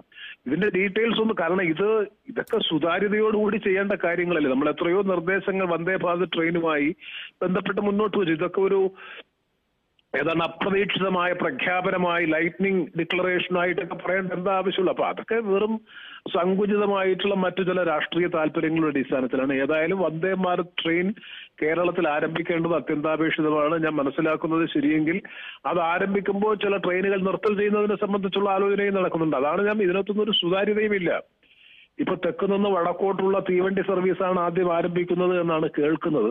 അങ്ങനെ കേൾക്കുമ്പോൾ തന്നെ നിലവിലുള്ള ജന നിലവിലുള്ള ഒരു തീവണ്ടി വളരെ ഏറ്റവും കൂടുതൽ ജനങ്ങൾക്ക് പ്രയോജനപ്രദമായിട്ടുള്ള ജനശതാബ്ദി എക്സ്പ്രസ് നൃത്തം ചെയ്തുകൊണ്ടാണ് ഇത് ആരംഭിക്കുന്നത് എന്ന വാർത്തകൾ ഒന്നും സ്ഥിരീകരിക്കാൻ കഴിയുന്നില്ല. അങ്ങനെ സ്ഥിരീകരിക്കാനോ ജനങ്ങൾക്ക് മനസ്സിലാകാതിരിക്കാനോ വളരെ പിന്നെ ഒരു കോൺഫിഡൻഷ്യൽ മാറ്ററായി ഏതാണ്ട് വലിയ രഹസ്യ സ്വഭാവത്തിൽ സൂക്ഷിക്കേണ്ട കാര്യം ഒന്നാണ് റെയിൽവേ വികസനവുമായി ബന്ധപ്പെട്ട കാര്യങ്ങൾ. അപ്പൊ ഇതൊക്കെ കാണിക്കുന്നത് തെരഞ്ഞെടുപ്പുമായി ബന്ധപ്പെട്ട് വരാൻ പോകുന്ന ഒരു രാഷ്ട്രീയ താല്പര്യങ്ങളുടെ ഭാഗം എന്നുള്ളതല്ല പറയാം അല്ലെ ഏതായാലും ആരംഭിക്കുന്ന നടപടി വളരെ സന്തോഷത്തോടെ സ്വാഗതം ചെയ്യുന്നു. റെയിൽ വികസനത്തിന്റെ അർഹതപ്പെട്ട പരിഗണന കേരളത്തിന് ലഭിക്കുക എന്നുള്ളത് നമ്മുടെ ആവശ്യമാണ് ലെജിറ്റിമേറ്റ് ആയിട്ടുള്ള കേരളത്തിന്റെ ആവശ്യമാണ് അത് അംഗീകരിക്കുന്നു എന്നറിയുന്നതിൽ നടപ്പാക്കുന്നു എന്നറിയുന്നതിൽ വളരെ സന്തോഷമുണ്ട്. അത് സ്വാഗതം ചെയ്യുന്നു. അത് പ്രധാനമന്ത്രി അന്ന് ഫ്ളാഗ് ഓഫ് ചെയ്യുന്നതിന് കുഴപ്പമൊന്നുമില്ല. പക്ഷേ അത് അനൗൺസ് ചെയ്യുന്നതിന് ബുദ്ധിമുട്ടുണ്ടോ? ഇപ്പൊ പ്രധാനമന്ത്രി ഇരുപത്തിയഞ്ചാം തീയതി വരുന്നു. ഇന്ന് തീയതി പതിനാലായി. നാളിതുവരെയായി അത് അനൗൺസ് ചെയ്തിട്ട് പോലുമില്ല. നമ്മൾ റെയിൽ ഭവനിലും ഒക്കെ അന്വേഷിക്കുമ്പോൾ കൃത്യമായിട്ടുള്ള ഒരു ഉത്തരവും ഇതുമായി ബന്ധപ്പെട്ട് ലഭിക്കുന്നില്ല. അപ്പൊ അതിന്റെയൊക്കെ ഉദ്ദേശം മറ്റൊന്നാണ്. അതൊക്കെ ഒരു മാനേജ്മെന്റിന്റെ ഭാഗമായി ചെയ്യുന്നതാണ്. പക്ഷേ ഒരു കാര്യം എം പി എന്ന നിലയിൽ കേരളത്തിന് ലഭിക്കേണ്ടുന്ന പരിഗണന ആദ്യഘട്ടത്തിൽ ലഭിച്ചില്ല. ഇപ്പോൾ ലഭിക്കുന്നു എന്നറിയുന്നതിലുള്ള സന്തോഷം അതിനെ വളരെ സന്തോഷത്തോടു കൂടി സ്വാഗതം ചെയ്യുകയാണ്. വളരെ Shri N K Premachandran M P Keralam കാത്തിരുന്ന വന്ദേ ഭാരത് എക്സ്പ്രസ് യാഥാർത്ഥ്യമാവുകയാണ്. വളരെ പെട്ടെന്ന് ഫ്ളാഗ് ഓഫ് ചെയ്യും. ഇരുപത്തിനാലിനോ ഇരുപത്തിയഞ്ചിനോ ഫ്ളാഗ് ഓഫ് ചെയ്യുമെന്ന വിവരമാണ് ലഭിക്കുന്നത്. അതേസമയം ഇത്തരം സർപ്രൈസ് ആയിട്ട് ഇങ്ങനെ ഒരു വിഷുക്കൈ നീട്ടം ശ്രീ പി കെ കൃഷ്ണദാസിന്റെ വാക്കുകളിൽ പറഞ്ഞാൽ വിഷുക്കൈ നീട്ടം ലഭിക്കുന്നുവെങ്കിലും അതിന്റെ ക്രമീകരണങ്ങൾ സംബന്ധിച്ച് കൂടുതൽ സുതാര്യത വേണമായിരുന്നു എന്നാണ് N K Premachandran M P അഭിപ്രായപ്പെട്ടത്. ഇടവേളയ്ക്ക് ശേഷം മറ്റു വാർത്തകളിലേക്ക് എത്താം. ആലപ്പുഴ ചന്തിരൂരിൽ യുവാവിനെ മർദ്ദിച്ച് കൊലപ്പെടുത്തി. പാറ്റുവിട്ടിൽ ഫെലിക്സ് ആണ് കൊല്ലപ്പെട്ടത്. ഒട്ടേറെ കേസുകളിൽ പ്രതിയാണ് ഇയാൾ. കേസിൽ ഒരാളെ പോലീസ് കസ്റ്റഡിയിലെടുത്തു. ഇന്നലെ രാത്രി സുഹൃത്തുക്കൾ വിളിച്ചുകൊണ്ടുപോയി സമീപത്തെ പറമ്പിൽ ഒത്തുകൂടിയിരുന്നു. രാത്രി പത്തരയോടെ മുഖത്ത് മുറിവേറ്റ നിലയിൽ കണ്ടെത്തി ആശുപത്രിയിൽ പ്രവേശിപ്പിച്ചു. സിമന്റ് കട്ട കൊണ്ട് മുഖത്തടിച്ചു എന്നാണ് സംശയം. അടിയേറ്റ് ചോര കിടക്കുന്നതാണ് കണ്ടത്. അതിനുശേഷം ആംബുലൻസ് വിളിച്ചിട്ട് കിട്ടിയില്ല. വീണ്ടും ഒരുപാട് ശ്രമിച്ച് കിട്ടിയില്ല. പിന്നെ അയലോക്കത്തൊരു കാർ വിളിച്ചാണ് ഹോസ്പിറ്റലിൽ എത്തിച്ചത്. ഹോസ്പിറ്റലിൽ എത്തിക്കുന്നുണ്ട് മരണപ്പെട്ടു. എന്നാണ് നമുക്കറിയാത്തത് റോയ് കൊട്ടാരച്ചിറ വിശദാംശങ്ങൾ നൽകും. റോയ് ഒരാളെ കസ്റ്റഡിയിലും എടുത്തിട്ടുണ്ടല്ലോ? ചോദ്യം ചെയ്തിട്ടുണ്ടോ? എന്തെങ്കിലും വിവരങ്ങൾ കൂടുതലായി ലഭിച്ചിട്ടുണ്ടോ?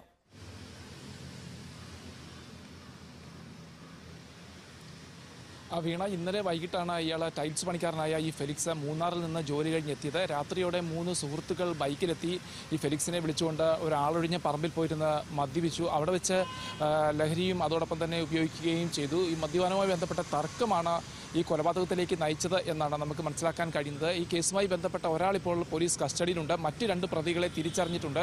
സമീപ പ്രദേശങ്ങളിലെ രണ്ട് വീടുകളിൽ നിന്നുള്ള സി ദൃശ്യങ്ങളും പോലീസ് ശേഖരിച്ചിട്ടുണ്ട്. അതിൽ നിന്നാണ് ഈ പ്രതികളെ തിരിച്ചറിഞ്ഞതെന്നാണ് നമുക്ക് മനസ്സിലാക്കാൻ കഴിയുന്നത്. ഈ മദ്യമാറ്റത്തെ തുടർന്നുണ്ടായ തർക്കത്തെ തുടർന്ന് ഫെലിക്സിനെ സിമെന്റ് കട്ട കൊണ്ട് മുഖത്ത് ഇടിക്കുകയായിരുന്നു. മുഖത്തിടിച്ച് മരണാസനായി കിടന്ന ഫെലിക്സിനെ കുറേ നേരം കഴിഞ്ഞ നാട്ടുകാരാണ് കണ്ടത്. തുടർന്ന് ഒരു മണിക്കൂറോളം അന്വേഷിച്ചിട്ടും ആംബുലൻസ് ഒന്നും ലഭിക്കാത്തതിനാൽ തൊട്ടടുത്തുള്ള ഒരാളുടെ വണ്ടിയിൽ കയറ്റി എറണാകുളത്തെ ജനറൽ ആശുപത്രിയിൽ എത്തിച്ചു. രാത്രി പന്ത്രണ്ട് മണിയോടെയാണ് ഈ ഫെലിക്സ് മരിച്ചത്. ഫെലിക്സിനെതിരെ അരൂര് അതോടൊപ്പം തന്നെ പട്ടണക്കാട് സ്റ്റേഷനുകളിൽ കഞ്ചാവ് വിൽപ്പനയുമായി ബന്ധപ്പെട്ട കേസുകളുണ്ട്. അവിടെ ഈ പ്രത്യേകിച്ച് സാമൂഹ്യ വിരുദ്ധരൊക്കെ ഒത്തുകൂടുന്ന ഒരു സ്ഥലത്ത് തന്നെയാണ് ഇവരും ഒത്തുകൂടിയത് എന്നാണ് നമുക്ക് മനസ്സിലാക്കാൻ കഴിയുന്നത്. അതുകൊണ്ട് തന്നെ അവിടേക്ക് പ്രദേശത്തേക്ക് വലിയ രാത്രിയായി കഴിഞ്ഞാൽ അവിടെ ആളുകളൊന്നും ഉണ്ടാവാറില്ല. അതുകൊണ്ട് കൂടി ആവണം. ഒരുപക്ഷെ ഈ അവശനായി കിടന്ന അക്രമത്തിൽ പരിക്കേറ്റ് കിടന്ന ഫെലിക്സിനെ ആരും കാണാതെ പോയത്. എന്താണേലും വളരെ ദാരുണമായ സംഭവമാണ്. ഇന്നലെ രാത്രിയിൽ സിമെന്റ് കട്ടയ്ക്ക് ഇടികൊണ്ട് ഒരു യുവാവ് പ്രത്യേകിച്ച് ഈ കൂട്ടുകാരുമായി ഒന്നിച്ച് മദ്യപിക്കുന്നതിലൂടെ തർക്കത്തെ തുടർന്ന് ഒരു യുവാവ് കൊല്ലപ്പെട്ടത്. കേസിൽ അന്വേഷണം നടന്നുകൊണ്ടിരിക്കുകയാണ്. ഒരാൾ മാത്രമാണ് ഇപ്പോൾ കസ്റ്റഡിയിലുള്ളത്. വീണ. ശരി റോയ്.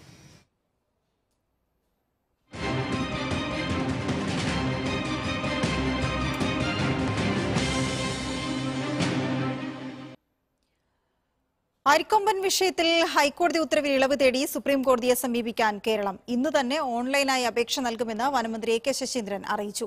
അഞ്ച് ദിവസത്തിനകം മറ്റൊരു സ്ഥലം അറിയിക്കാനാണ് ഹൈക്കോടതി നിർദ്ദേശം. ഇന്നലെ വരെയുള്ള അന്വേഷണത്തിൽ സുരക്ഷിത സ്ഥലം കണ്ടെത്താനായില്ല എന്ന് വനമന്ത്രി കോഴിക്കോട്ട് പറഞ്ഞു. നിയമജ്ഞന്മാരുടെയും എല്ലാം അഭിപ്രായം ആരാഞ്ഞതിന് ശേഷം ഇപ്പോൾ അങ്ങനൊരു ശ്രമം നടത്തുന്നതാണ് കരണീയമായ മാർഗം എന്ന് തീരുമാനിക്കുകയും പറ്റുമെങ്കിൽ ഇന്ന് തന്നെ ഓൺലൈനായി അപേക്ഷ കേരള ബഹുമാനപ്പെട്ട സുപ്രീം കോടതിയുടെ പരിഗണനയ്ക്ക് വെക്കാമോ എന്നാലോചിക്കുന്നുണ്ട് പക്ഷേ ഈ മൂന്ന് ദിവസം പതിനാല് പതിനഞ്ച് പതിനാറ് കോടതി അവധിയായതുകൊണ്ട് ഏറ്റവും കൂടുതൽ സമയമെടുത്താൽ തന്നെ പതിനേഴാം തീയതി ഈ ഹർജി സുപ്രീം കോടതിക്ക് മുമ്പാകെ സമർപ്പിക്കാൻ കഴിയുമെന്നാണ് കഴിയണമെന്നാണ് ഇപ്പോൾ തീരുമാനിച്ചിട്ടുള്ളത്.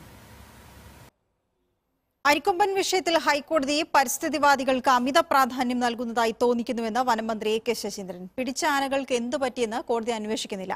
രണ്ടായിരത്തി പതിനാറിന് ശേഷം പിടികൂടിയത് മൂന്ന് ആനകളും മാത്രമാണ്. അപൂർവമായി സംഭവിക്കുന്നതിനെ സാമാന്യവൽക്കരിക്കുന്നത് ശരിയല്ലെന്നും വനമന്ത്രി കോഴിക്കോട്ട് പറഞ്ഞു. ആനപ്രേമികളുടെ സംഘടനയോട് ഉയർത്തുന്ന പരിസ്ഥിതിവാദത്തിന്റെ പുറകെയാണ് അല്ലെങ്കിൽ അത് ഉയർത്തി അതിന് പ്രാധാന്യം വമ്പിച്ച പ്രാധാന്യം അമിതമായ പ്രാധാന്യം. പ്രാധാന്യം കൊടുക്കേണ്ടത് വളരെ ശരിയായ കാര്യമാണ്. പക്ഷെ അമിതമായ പ്രാധാന്യം കൊടുത്തതുപോലെയാണ് തോന്നിക്കുന്നത്. നേരത്തെ പിടിച്ച പി എം മൂന്നായാലും പി ടി സെവൻ ആയാലും സ്വന്തം മക്കളെ പോലെയാണ് വനം വകുപ്പ് സംരക്ഷിച്ചു പോരുന്നത്. പിടിച്ച ആനകൾക്ക് എന്ത് പറ്റി എന്നൊരു പരിശോധന കോടതിയുടെ ഭാഗത്തുനിന്നും ഉണ്ടായിരുന്നില്ല എന്നാണ് മനസ്സിലാക്കാൻ കഴിഞ്ഞിട്ടുള്ളത്. ചിന്നക്കനാലിലെയും പറമ്പിക്കുളത്തെയും ജനങ്ങളുടെ ജീവന് ഒരേ വിലയെന്ന് രമ്യ ഹരിദാസ് എം പി. അരിക്കൊമ്പനെ പറമ്പിക്കുളത്തേക്ക് കൊണ്ടുവരില്ലെന്ന ഉറപ്പ് സർക്കാർ നൽകണമെന്നും എം പി പറഞ്ഞു. ജനങ്ങളുടെ ആശങ്ക പരിഹരിക്കാതെ നിലവിലെ സമര പരിപാടികൾ അവസാനിപ്പിക്കില്ലെന്ന് സർവകക്ഷി ജനകീയ കൂട്ടായ്മയും വ്യക്തമാക്കി. ഇടുക്കി ജില്ലയിലെ ചിന്നക്കനാലിലെയും പാലക്കാട്ടെ പറമ്പിക്കുളത്തെയും ജനങ്ങളുടെ ജീവന് ഒരേ വിലയാണ്. ജനങ്ങളുടെ ജീവിത സുരക്ഷിതത്വം ഉറപ്പുവരുത്തേണ്ടത് സർക്കാരാണ്. ചിന്നക്കനാൽ മേഖലയിലെ ജനജീവിതത്തിന് വെല്ലുവിളി ഉയർത്തുന്ന ആനയെ പറമ്പിക്കുളത്ത് കൊണ്ടുവിട്ടാൽ ആദിവാസികൾ ഉൾപ്പെടെ ദുരിതത്തിലാകും. പറമ്പിക്കുളത്തെ ജനങ്ങളുടെ ജീവനെ വേറിട്ട് കാണാൻ കഴിയില്ല. ജനവാസ മേഖലയെ സംബന്ധിച്ച വിവരങ്ങൾ ബോധിപ്പിക്കുന്നതിൽ സർക്കാരിന്റെ ഭാഗത്തുനിന്നും വീഴ്ചയുണ്ടായിട്ടുണ്ടെന്നും എം പി. ഇതിനുള്ള ഏത് പ്രതിവിധി കണ്ടെത്തേണ്ട ധാർമ്മികപരമായിരിക്കുന്ന കടമ സർക്കാരിന്റെ മുൻപിലാണ്. അതിനാണ് ഞങ്ങൾ എല്ലാവരും ഇവിടെ ഒരുമിച്ച് ഒരേ വേദിയിൽ ഒത്തുചേർന്നിരിക്കുന്നത്. പറമ്പിക്കുളത്തേക്ക് ആനയെ കൊണ്ടുവരില്ലെന്ന് രേഖാമൂലം ഉറപ്പ് നൽകാതെ നിലവിലെ സമരപരിപാടികൾ അവസാനിപ്പിക്കില്ലെന്നാണ് ജനകീയ കൂട്ടായ്മയുടെ നിലപാട്. മുതലമട പഞ്ചായത്തിന്റെ നേതൃത്വത്തിൽ നിയമപരമായ നടപടികളും തുടരും. കാമ്പ്രത്ത് ചെളയിൽ ജനകീയ സമിതി സംഘടിപ്പിച്ച പ്രകടനത്തിലും പൊതുയോഗത്തിലും നിരവധി പേർ പങ്കെടുത്തു. മനോരമ ന്യൂസ് പാലക്കാട്. സംസ്ഥാനത്ത് കഠിനമായ വേനൽ ചൂട് ഇന്നും തുടരുമെന്ന് കേന്ദ്ര കാലാവസ്ഥാ വകുപ്പ് അറിയിച്ചു. തിരുവനന്തപുരം ജില്ലയിലെ നെയ്യാറ്റിൻകര പാറശാല പ്രദേശങ്ങളിൽ താപനില മുപ്പത്തിയെട്ട് മുതൽ മുപ്പത്തിയൊൻപത് ഡിഗ്രി സെൽഷ്യസിലേക്ക് ഉയർന്നേക്കും. കോട്ടയം പത്തനംതിട്ട തൃശൂർ പാലക്കാട് കോഴിക്കോട് കണ്ണൂർ ജില്ലകളിലും ചൂട് നാൽപ്പത് ഡിഗ്രി സെൽഷ്യസിലേക്ക് അടുക്കുമെന്ന് കാലാവസ്ഥാ വകുപ്പ് മുന്നറിയിപ്പ് നൽകി. അനുഭവവേദ്യമാകുന്ന ചൂടിന്റെ താപസൂചിക ഈ പ്രദേശങ്ങളിൽ അൻപത്തിയഞ്ച് മുതൽ അൻപത്തിയെട്ട് ഡിഗ്രി സെൽഷ്യസ് വരെയാകും. ഒറ്റപ്പെട്ട പ്രദേശങ്ങളിൽ വേനൽ മഴ ലഭിക്കും. വഞ്ചന കേസിൽ അഡ്വക്കേറ്റ് സൈബി ജോസ് കിടങ്ങൂരിനെതിരെ തെളിവില്ലെന്ന് പോലീസ് ഹൈക്കോടതിയിൽ. ഹൈക്കോടതി നിർദ്ദേശപ്രകാരം സമർപ്പിച്ച റിപ്പോർട്ടിലാണ് പോലീസ് ഇക്കാര്യം വ്യക്തമാക്കിയത്. പണം ആവശ്യപ്പെടുന്നതിനും വാങ്ങിയതിനും തെളിവില്ല എന്നാണ് റിപ്പോർട്ട്. റിപ്പോർട്ടിന്റെ പകർപ്പ് മനോരമ ന്യൂസിന് ലഭിച്ചു. കേസിൽ നിന്ന് പിന്മാറാൻ സൈബി അഞ്ച് ലക്ഷം രൂപ വാങ്ങി വഞ്ചിച്ചു എന്നായിരുന്നു കോതമംഗലം സ്വദേശിയുടെ പരാതി. ചേർനല്ലൂർ പോലീസ് രജിസ്റ്റർ ചെയ്ത കേസിൽ വഞ്ചനാക്കുറ്റം അടക്കമുള്ള വകുപ്പുകളാണ് സൈബിക്കെതിരെ ചുമത്തിയിട്ടുള്ളത്. കേസിന്റെ എഫ്ഐആർ റദ്ദാക്കണമെന്ന് ആവശ്യപ്പെട്ട് സൈബി സമർപ്പിച്ച ഹർജിയിലാണ് പോലീസിനോട് ഹൈക്കോടതി റിപ്പോർട്ട് തേടിയത്. കരിപ്പൂർ വിമാനത്താവളത്തിൽ യാത്രക്കാരനെ ഒളിപ്പിച്ച് കടത്തിയ ഒരു കിലോ സ്വർണം പോലീസ് പിടികൂടി. എയർ ഇന്ത്യ എക്സ്പ്രസ് വിമാനത്തിൽ ഷാർജയിൽ നിന്നെത്തിയ കണ്ണൂർ സ്വദേശി ഉദയപ്രകാശാണ് പിടിയിലായത്. നാല് സ്വർണ ക്യാപ്സ്യൂളുകൾ ശരീരത്തിലെ രഹസ്യഭാഗത്ത് ഒളിപ്പിച്ചാണ് കടത്തിയത്. കസ്റ്റംസിനെ വെട്ടിച്ച് പുറത്തെത്തിയ ശേഷമാണ് പോലീസ് പിടിയിലായത്. ജില്ലാ പോലീസ് മേധാവി എസ്. സുജിത് ദാസിന് ലഭിച്ച വിവരത്തെ തുടർന്ന് ടെർമിനലിന് പുറത്തേക്ക് വരുമ്പോൾ ഉദയപ്രകാശിനെ കാത്തിരുന്ന് കസ്റ്റഡിയിലെടുക്കുകയായിരുന്നു. ചർച്ച് ബില്ലിനെതിരെ ഓർത്തഡോക്സ് യുവജന പ്രസ്ഥാനം പത്തനംതിട്ട നഗരത്തിൽ സ്ഥാപിച്ച ബോർഡുകൾ നശിപ്പിച്ചവർക്കെതിരെ അന്വേഷണം ആവശ്യപ്പെട്ട് വീണ്ടും പരാതി. ഓർത്തഡോക്സ് ചർച്ച് യൂത്ത് മൂവ്മെന്റിന്റെ തുമ്പമൺ ഭദ്രാസന കമ്മിറ്റിയാണ് ജില്ലാ പോലീസ് മേധാവിക്ക് വീണ്ടും പരാതി നൽകിയത്. കഴിഞ്ഞ മാർച്ച് പതിമൂന്നിന് സി പി എം സംസ്ഥാന സെക്രട്ടറി എം വി ഗോവിന്ദന്റെ ജനകീയ പ്രതിരോധ യാത്ര പത്തനംതിട്ടയിൽ എത്തിയതിനു പിന്നാലെയാണ് ചർച്ച് ബില്ലുമായി ബന്ധപ്പെട്ട ഫ്ലക്സുകൾ നശിപ്പിച്ചത്. നഗരത്തിന്റെ വിവിധ ഭാഗങ്ങളിലാണ് സർക്കാർ നടപ്പാക്കാൻ ഉദ്ദേശിക്കുന്ന ചർച്ച് ബില്ലിനെതിരെ ബോർഡുകൾ സ്ഥാപിച്ചത്. കുമ്പടയിൽ സംസ്ഥാന സെക്രട്ടറിയുടെ പരിപാടികൾ നടന്ന ഹോട്ടലിന് മുന്നിൽ സ്ഥാപിച്ച ബോർഡ് നശിപ്പിച്ചിരുന്നു.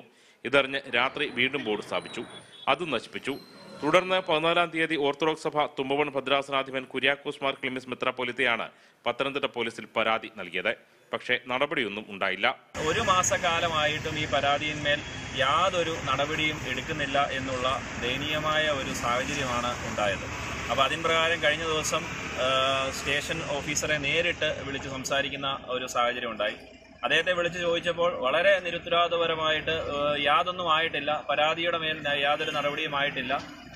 അത് അന്വേഷണം എങ്ങും എത്തിയിട്ടില്ല എന്ന് പറഞ്ഞ് ആ സംഭാഷണം പൂർത്തിയാക്കുവാൻ പോലും തയ്യാറാവാതെ ഡിസ്കണക്ട് ചെയ്യുന്ന ഒരു സാഹചര്യമാണ് ഉണ്ടായത്. നഗരത്തിലെ സി സി ടി വികൾ അടക്കം പരിശോധിച്ച് നടപടിയെടുക്കണമെന്നാണ് ആവശ്യം. ഒ സി വൈ എം പ്രവർത്തകർ നേരിട്ടെത്തിയാണ് എസ് പിക്ക് പരാതി നൽകിയത്. അനുമതിയില്ലാതെ സ്ഥാപിച്ച ബോർഡുകൾ ആയതിനാലാണ് നടപടിയെടുക്കാൻ കഴിയാത്തത് എന്നാണ് പോലീസ് വാദം. മനോരമ ന്യൂസ് പത്തനംതിട്ട. വനം മന്ത്രിയുടെ നിർദ്ദേശത്തെ തുടർന്ന് വനംവകുപ്പ് ചെക്ക് പോസ്റ്റുകളിൽ പ്രത്യേക പരിശോധന. സംസ്ഥാനത്തിന്റെ വിവിധ സ്ഥലങ്ങളിലെ അതിർത്തി ചെക്ക് പോസ്റ്റുകളിൽ വനംവകുപ്പ് വിജിലൻസ് വിഭാഗം പരിശോധനയ്ക്കെത്തി. മതിയായ രേഖകൾ ഉറപ്പാക്കി കുറ്റമറ്റ രീതിയിലാണ് ചെക്ക് പോസ്റ്റുകളുടെ പ്രവർത്തനമെന്നാണ് പരിശോധനയിൽ തെളിഞ്ഞത്. വനംവകുപ്പിന്റെ കീഴിൽ അതിർത്തിയിലുള്ള മുപ്പത്തിയൊൻപത് ചെക്ക് പോസ്റ്റുകളിലാണ് പരിശോധനയുണ്ടായത്. മതിയായ രേഖകൾ സൂക്ഷിച്ചിരുന്നതിനൊപ്പം ദിവസേനയുള്ള വിവരങ്ങളും ചെക്ക് പോസ്റ്റിലെ രജിസ്റ്ററിൽ രേഖപ്പെടുത്തിയിട്ടുണ്ടെന്നാണ് പ്രാഥമിക പരിശോധനയിൽ തെളിഞ്ഞത്. പാലക്കാട് റേഞ്ചിന്റെ കീഴിലുള്ള വാളയാർ ആനക്കട്ടി ആനമുള്ളി നെല്ലിയാമ്പതി റേഞ്ചിന്റെ കീഴിലുള്ള മീനാക്ഷിപുരം ഗോവിന്ദാപുരം പോത്തുണ്ടി എന്നീ ചെക്ക് പോസ്റ്റുകളിൽ രാത്രി പത്തിനും പുലർച്ചെ ഒരു മണിക്കുമിടയിൽ വിജിലൻസ് സംഘമെത്തി. ഫ്ലൈയിംഗ് സ്ക്വാഡ് പാലക്കാട് ഡിവിഷന്റെ കീഴിലുള്ള പാലക്കാട് നെല്ലിയാമ്പതി റേഞ്ചുകളിലെ ഉദ്യോഗസ്ഥർ പല സംഘങ്ങളായി തിരിഞ്ഞായിരുന്നു പരിശോധന. ചെക്ക് പോസ്റ്റുകളിലൂടെ കടന്നുപോയ വാഹനങ്ങളും വിജിലൻസ് പരിശോധിച്ചു. ചെക്ക് പോസ്റ്റുകളിലെ ഉദ്യോഗസ്ഥരുടെ കണക്ക് ഓൺലൈൻ പണമടയ്ക്കൽ സംവിധാനങ്ങളുടെ നിലവിലെ സ്ഥിതി എന്നിവയും പരിശോധിച്ച് റിപ്പോർട്ട് നൽകിയിട്ടുണ്ട്. മനോരമ ന്യൂസ് പാലക്കാട്. വേനൽ കനത്തതോടെ സംസ്ഥാനത്ത് പാൽ ഉൽപാദനത്തിൽ ഗണ്യമായ കുറവ്. രണ്ടു മാസത്തിനിടെ എട്ട് ശതമാനത്തിനോടടുത്താണ് പല ജില്ലകളിലും സംഭരണത്തിൽ കുറവുണ്ടായിരിക്കുന്നത്. ചൂട് കാരണം കന്നുകാലികൾ കുഴഞ്ഞു വീണ ജീവൻ നഷ്ടപ്പെടുന്നതും ക്ഷീരകർഷകർക്ക് പ്രതിസന്ധിയാണ്. പതിവായി പന്ത്രണ്ട് ലിറ്ററിലധികം പാൽ ചുരത്തിയിരുന്ന പശു. വേനലിന്റെ കാഠിന്യം കൂടിയതോടെ ഇത് ഏഴിൽ താഴെയായി ചുരുങ്ങി. ഭൂരിഭാഗം ക്ഷീരകർഷകരുടെയും സ്ഥിതി വ്യത്യസ്തമല്ല. ബ്ലോക്ക് അടിസ്ഥാനത്തിലുള്ള വിലയിരുത്തലാകുമ്പോൾ സംസ്ഥാനത്താകെ സമാന പ്രതിസന്ധി ഉണ്ടെന്നാണ് കണക്ക്. ഏറ്റവും അധികം പാൽ ഉൽപ്പാദിപ്പിക്കുന്ന ചിറ്റൂർ ബ്ലോക്കിൽ ഒരു മാസത്തിനിടെ എട്ട് ശതമാനം സംഭരണക്കുറവാണ് രേഖപ്പെടുത്തിയിരിക്കുന്നത്. ക്ഷീരസംഘങ്ങൾ വഴി സംഭരിക്കുന്ന പാലിന്റെ അളവിലും കാര്യമായ കുറവുണ്ട്. പാൽ ലഭ്യതക്കുറവിന് പുറമെയാണ് കടുത്ത വേനലിനെ അതിജീവിക്കാനാവാതെ പശുക്കൾ കുഴഞ്ഞു വീഴുന്നത് പതിവായത്. നിലവിൽ ഇപ്പോൾ വേനൽ കടുത്തതോടെ വളരെയധികം പിന്നെ പാൽ പാലുൽപാദനത്തിൽ നമ്മളുടെ കണക്ക് പരിശോധിക്കുമ്പോൾ ഏകദേശം അഞ്ച് ശതമാനം അതായത് ഒരു പതിനായിരം ലിറ്ററിന്റെ അടുത്ത് നമ്മുടെ മുൻവർഷത്തെ അപേക്ഷിച്ചിട്ട് കുറവ് വന്നിട്ടുണ്ട് പ്രധാന കാരണം തന്നെ ഈ ചൂട് കാരണം കൊണ്ടാണ്. പാലളക്കുന്നത് കുറഞ്ഞതിനൊപ്പം തീറ്റപ്പുല്ലിന്റെ ലഭ്യതക്കുറവും കർഷകരെ പ്രതിസന്ധിയിലാക്കുന്നുണ്ട്. കാലിത്തീറ്റയുടെ വിലവർദ്ധനയും തിരിച്ചടിയാണ്. സഹായ പദ്ധതികൾ നടപ്പാക്കാൻ ക്ഷീരവികസന വകുപ്പിന്റെ ഇടപെടൽ വേണമെന്നാണ് പ്രാഥമിക സംഘങ്ങളുടെയും ആവശ്യം. മനോരമ ന്യൂസ് പാലക്കാട്. സാമൂഹ്യ സുരക്ഷാ പെൻഷൻ വിതരണവുമായി ബന്ധപ്പെട്ട സാങ്കേതിക തടസ്സം തുടരുന്നു. പെൻഷൻ തുകയിലെ കേന്ദ്ര വിഹിതം ഇനിയും നാലേ മുക്കാൽ ലക്ഷം പേരുടെ അക്കൗണ്ടിലേക്ക് എത്തിയിട്ടില്ല. അതേസമയം സഹകരണ ബാങ്കുകൾ വഴി ക്ഷേമ പെൻഷൻ നൽകാനുള്ള തുക ട്രഷറിയിലെത്തി. ഇന്ദിര ദേശീയ വാർദ്ധക്യ പെൻഷൻ ഇന്ദിര ദേശീയ വിധവാ പെൻഷൻ ഇന്ദിര ദേശീയ ഭിന്നശേഷി പെൻഷൻ എന്നീ സ്കീമുകളിലുള്ള നാലേ മുക്കാൽ ലക്ഷത്തോളം പേർക്കാണ് സാമൂഹ്യ സുരക്ഷാ പെൻഷനിലെ കേന്ദ്ര സർക്കാർ വിഹിതം ലഭിക്കാനുള്ളത്. ഇരുന്നൂറ് രൂപ മുതൽ അഞ്ഞൂറ് രൂപ വരെയാണ് കിട്ടാനുള്ളത്. സോഫ്റ്റ്വെയർ പ്രശ്നമാണ് കാരണം. കേന്ദ്ര സർക്കാർ നേരിട്ട് അക്കൗണ്ടിലേക്ക് പണം നൽകുന്നതിന് ഉപയോഗിക്കുന്ന പബ്ലിക് ഫിനാൻസ് മാനേജ്മെന്റ് സിസ്റ്റവും സംസ്ഥാനം ക്ഷേമ പെൻഷൻ വിതരണത്തിന് ആശ്രയിക്കുന്ന സേവന പോർട്ടലും തമ്മിൽ യോജിപ്പിക്കാനാവുന്നില്ല. തദ്ദേശ സ്വയംഭരണ വകുപ്പ് ചുമതലപ്പെടുത്തിയ സാങ്കേതിക വിദഗ്ധർ നാഷണൽ ഇൻഫോർമാറ്റിക് സെന്ററുമായി ചേർന്ന് പ്രശ്നം പരിഹരിക്കാൻ ശ്രമം തുടരുകയാണ്. ഇന്നോ നാളെയോ പണം അക്കൗണ്ടിലേക്ക് എത്തിക്കാനാകുമെന്നാണ് പ്രതീക്ഷ. ഇതേസമയം സഹകരണ ബാങ്കുകൾ വഴി ക്ഷേമ പെൻഷൻ നൽകാൻ വേണ്ട തുകയായ ആയിരത്തി എണ്ണൂറ് കോടി ട്രഷറിയിലെത്തി. ഈ തുക സഹകരണ ബാങ്കുകളിലേക്ക് നൽകി തുടങ്ങി. സർക്കാർ പ്രഖ്യാപിച്ച തീയതിയിൽ തന്നെ സഹകരണ ബാങ്കുകൾ പെൻഷൻ വിതരണം തുടങ്ങിയിരുന്നു. ഇപ്പോൾ ട്രഷറിയിലെത്തിയ പണം സഹകരണ ബാങ്കുകൾ അക്കൗണ്ടിലേക്ക് വരവ് വയ്ക്കും. മനോരമ ന്യൂസ് തിരുവനന്തപുരം. ഇടവേള.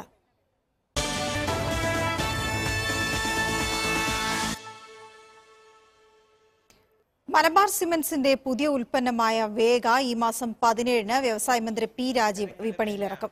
സിമന്റ് കട്ടകൾ നിർമ്മിക്കാനും ചുരുങ്ങിയ സമയത്തിനുള്ളിൽ കോൺക്രീറ്റ് നിർമ്മാണം പൂർത്തിയാക്കാനും ഫലപ്രദമാണ് വേഗയെന്ന് മാനേജിംഗ് ഡയറക്ടർ കെ ഹരികുമാർ പറഞ്ഞു.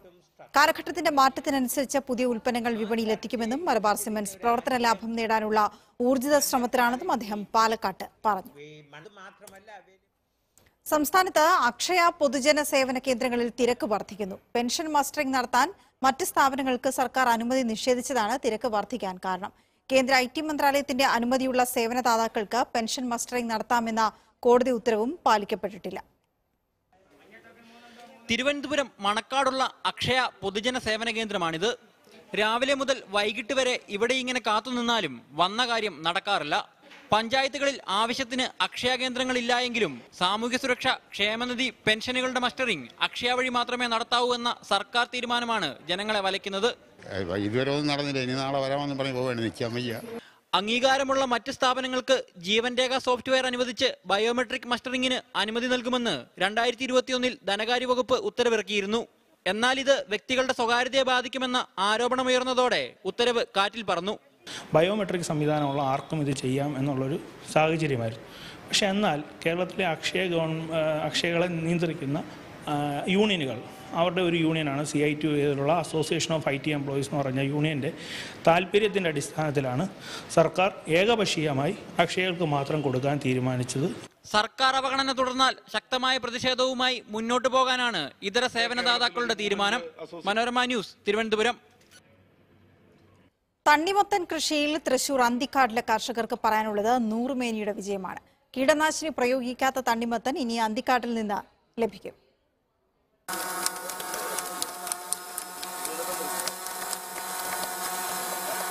തൃശൂർ അന്തിക്കാടിലാണ് ഏക്കർ കണക്കിന് പാടശേഖരത്തിൽ തണ്ണിമത്തൻ വിളവെടുത്തത്.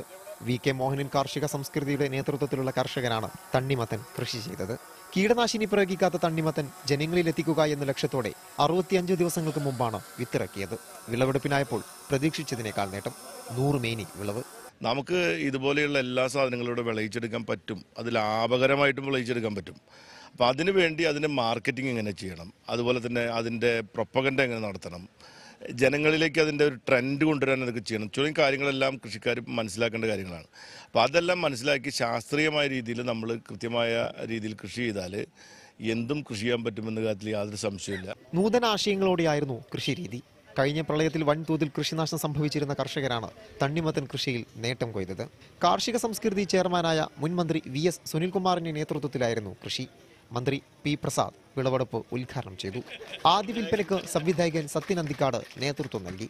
പ്രതീക്ഷിച്ചതിനേക്കാൾ കൂടുതലായി വിളവ് അവർക്ക് ലഭ്യമാവുന്നുണ്ട് അവർ കണക്ക് കൂട്ടിയതിനേക്കാൾ കൂടുതലാണ് തൂക്കം നോക്കുമ്പോൾ അതിനുള്ളത്. ഓരോ എണ്ണത്തിൽ എത്ര കിലോ ഒരു എണ്ണത്തിന് എത്ര കിലോ എന്നുള്ളവർ നിശ്ചയിച്ചിരുന്നു. അതിനേക്കാൾ കൂടുതൽ ഇപ്പോൾ അതിന്റെ അവിടെ അതിന്റെ കിലോ വരുന്നുണ്ട്. അപ്പോൾ തീർച്ചയായിട്ടും നല്ല ലാഭകരമായി തന്നെ ഇത് പോകാൻ കഴിയും.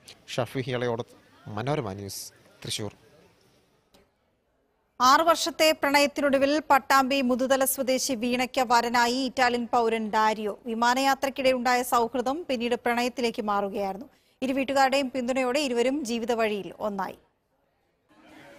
രണ്ടായിരത്തി പതിനേഴിൽ ഉപരിപഠനത്തിനായി യു എസിലേക്കുള്ള യാത്രക്കിടയിലാണ് പട്ടാമ്പി മുതുതല സ്വദേശി വീണ ഇറ്റലിയിൽ നിന്നുള്ള ഡാരിയോയെ പരിചയപ്പെടുന്നത്. ഇരുവരും സൗഹൃദം തുടർന്നു. സൗഹൃദം പ്രണയത്തിലേക്ക് മാറി. കഴിഞ്ഞ വർഷമാണ് വീണ പ്രണയത്തെക്കുറിച്ച് വീട്ടിലറിയിച്ചത്. ഇരു വീട്ടുകാരും സമ്മതം അറിയിച്ചതോടെ കഴിഞ്ഞ വർഷം യു എസിൽ വെച്ച് ഇരുവരും രജിസ്റ്റർ വിവാഹം ചെയ്തു. വീണയുടെ പഠനം പൂർത്തിയായി നാട്ടിലെത്തിയതോടെ കുടുംബക്ഷേത്രത്തിലെ കതിർമണ്ഡപത്തിൽ വിവാഹം. ഞങ്ങൾ കണ്ടത് ഫ്ലൈറ്റിലെ കോ പാസഞ്ചേഴ്സ് ആയിട്ടാണ്. ഞങ്ങൾ രണ്ടുപേരും യു എസിലേക്ക് പോവായിരുന്നു. അപ്പോൾ ഞാൻ പഠിക്കാൻ പോവായിരുന്നു.